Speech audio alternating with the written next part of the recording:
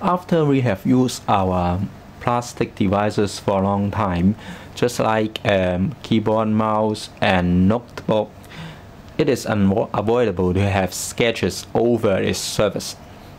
Let's have a look on this Apple Pro mouse I've used for years. There is sketches over here, serious sketches.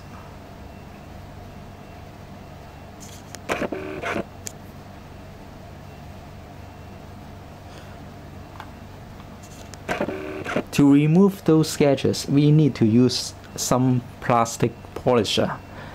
And different countries has different brand uh, of uh, polisher, and but they have uh, they share the uh, common principle, which is uh, they have different kinds of particle size. This is uh, number three of the plastic polisher, and the particle size is 3 micrometers. And this is number 1 and the particle size is 1 micrometer. The number 3 um, plastic polisher is to remove serious sketches. And after we have removed serious sketches, we can apply number 1. Let me show you how to use this kind of plastic polisher. Just we need is uh, a plastic polisher and tissue. First of all, we have to apply some plastic polisher onto the piece of tissue.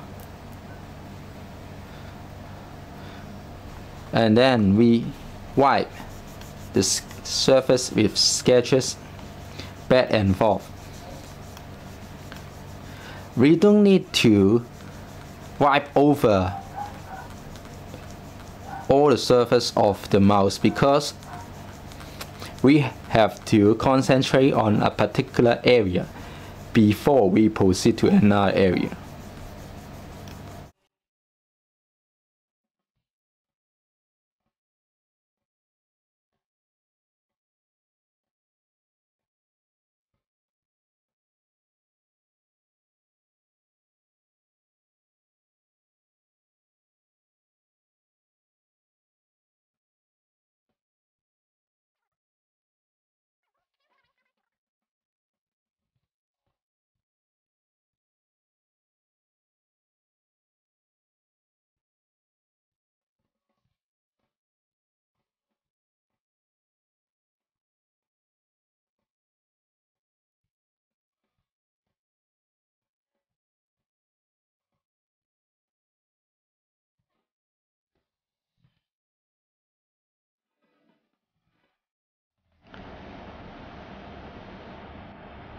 Most of the sketches on the front of the mouse has already been removed. You can see the power of this polisher.